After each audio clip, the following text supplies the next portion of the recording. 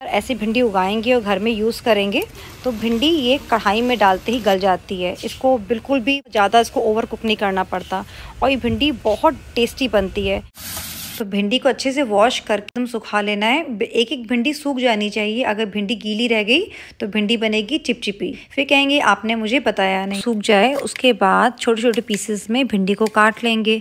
और जो शेप आपको पसंद हो आप उस शेप में काट सकते हैं। अब हमारी भिंडी कट चुकी है। अब हम एक कढ़ाई में ऑयल गर्म करेंगे। मैं यहाँ पे मस्टर्ड ऑयल का यूज़ कर रही हूँ। और मैंने प्याज को बड़े बड़े शेप्स में काटा है जिससे कि भिंडी खिली खिली बने। अब भिंडी ऐड कर देते हैं।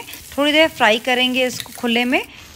उसके बाद ऐड करेंगे नमक हल्दी मिर्च पाउडर, धनिया पाउडर। अभी भिंडी मैंने, आपको पता है, मैंने अपने टेरिस से तोड़ी है तो मैं इसको खुला ही पकाती हूँ, उसको मैं कवर नहीं करती। और पाँच मिनट में भिंडी बन के रेडी हो जाती है। और लास्ट में मैं थोड़ा सा मिर्च पाउडर ऐड करूँगी। भिंडी को और कलर देने के लिए। और देखिए, बस भिंडी बनके रेडी हो चुकी है। और आपको भिंडी कैसी लग रही है कमेंट में बताइएगा। आपने मुझे सब्ज़ियाँ उगाते हुए तो देखा है, लेकिन सब्ज़ी तोड़ के बनाते हुए आप पहली बार देख रहे हैं। तो प्लीज़ बताइएगा कि आपको कैसा लगा। और मेरा एक न्यू चैनल है, घर पर बना खाना।